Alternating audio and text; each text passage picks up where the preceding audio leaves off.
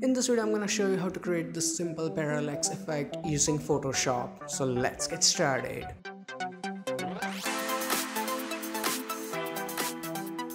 Hey what's up guys, Dhruval here back with another video and as you can see this is the final output. Now by looking at the effect you can already tell that it's really simple. All I did was took the image, flipped it upside down and added a subject. Uh, so first I'm going to show you how you can do it technically and after that I'm to show you the reasons why something simple like this works so effectively. So first of all let's go and open the image. So I'm to go to file, open and select any landscape photo that you want to work on. So I'm to select this, open it. Now before you start working double click here, unlock the background and then make a copy of it, press Ctrl J. Now on the top layer here, double click and rename it to top. Now before we flip this image, we need to remove the sky so we can blend it properly with the bottom image. And to do that, this is really simple sky so you can directly use your magic wand tool. So right click here and select magic wand. And since the color of uh, water is also blue, I'm gonna go and keep my tolerance under control. So let's keep it somewhere around like 50% that seems fine and also before you make the selection make sure you have this second option active so you can click multiple times then go and do clicks Now as you can see we selected the skyline properly but we also selected some portions in building that we don't want. So to remove them simply just right click here and select quick selection tool this time and since we want to remove it go and select the minus option then go and paint it on top of your buildings where you think the selection needs to be removed. So I'm gonna go and remove it from here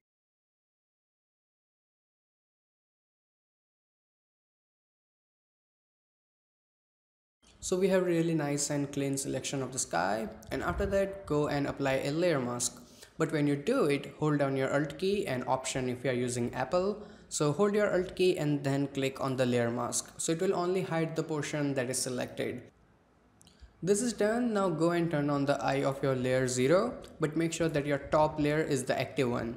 Then go and press Ctrl T, right click and select flip horizontal and after that again press right click and this time flip vertical. Then go and confirm it. Now we need to move it upwards. So for that select your move tool but when you drag it up hold your shift key so it doesn't go out of place. So now go and drag it up. Now we need more space for the top buildings. So for that activate your layer 0 hold your shift key and drag this one down.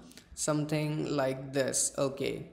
Just make sure you don't have any empty space like this now we need to rotate both of them together. So for that hold your control key and select both the layers.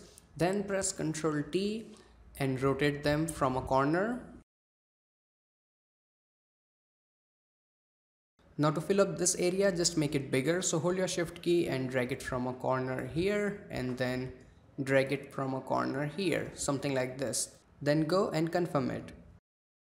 Now we need to adjust buildings a little bit but before that let's go and crop the image. So it will give us that cinematic feeling and better idea about how to frame the image. So select your crop tool and in the resolution I'm using 1920 by 1080 standard HD cut and then go and hit enter and then confirm your crop. Okay so this is looking better now go and select your move tool and one by one select your top and bottom image and adjust it exactly the way you like.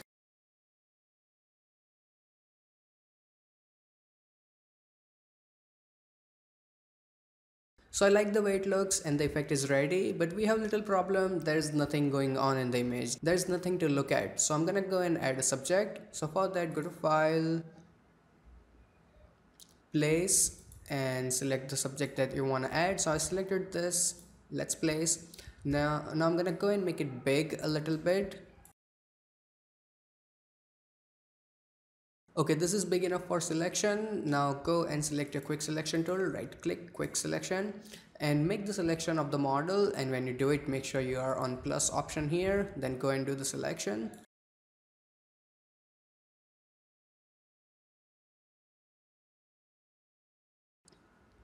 And here we need to remove selection from this area. So go and select the minus option and remove it from here Okay, so the selection is ready. Then go and click on your layer mask. So the background is gone. Okay, now we need to make him really tiny so it looks like he's falling from the top buildings and for that go and press Ctrl T, hold your shift key and make him tiny, like really really tiny. Uh, I think this is enough. Let's go and make him a little bit big.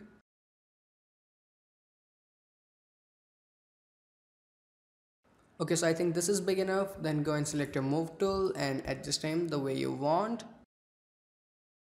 So I think here it looks perfect because we have an actual frame of the image and there's this little frame created by the buildings and in between there's the guy falling.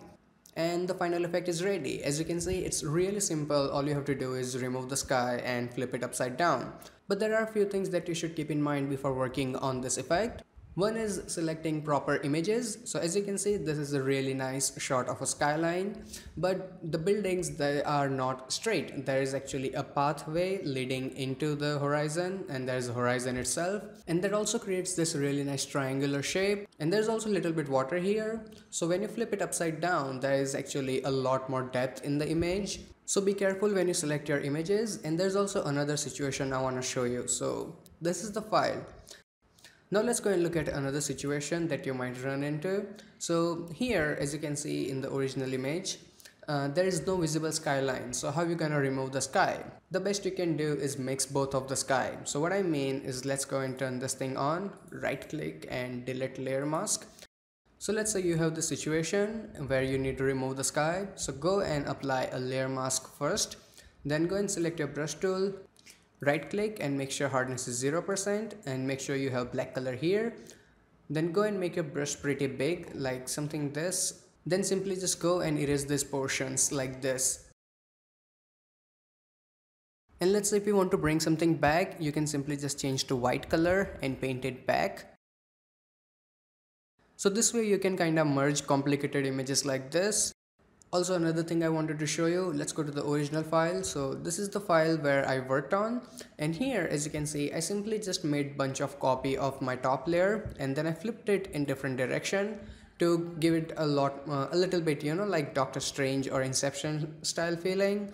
I mean it doesn't look that great but you get the idea. You can be really creative with this kind of things don't limit yourself with exactly what I did. Plus you can also change your subjects. So as you can see, uh, let's go and turn this thing on. Okay, so here as you can see, I added two different people and I made them really close to the camera and then I just added some blur to the background so it gives it more depth of field but overall I didn't like the final output so I didn't include it. But you get the idea. You can also add you know something like uh, a helicopter chase uh, you can have a really large bird. You can add everything that goes into sky. So it's up to you how you use this effect. There's nothing much to the tools or in the technical department but it's about how you use it so I really hope that you guys learned something from this video and if you did, hit that like button and if you have any kind of questions or suggestions, feel free to ask me in comment section below. And if you are new here, you can click on any of these boxes to check out more videos by me. Plus you can also click on that subscribe button so every time I upload a new video, you will get the update. Plus clicking on that subscribe button will take you to my YouTube channel where I have tons of Photoshop tutorials waiting for you. So till then, goodbye, take care and have some fun with Photoshop.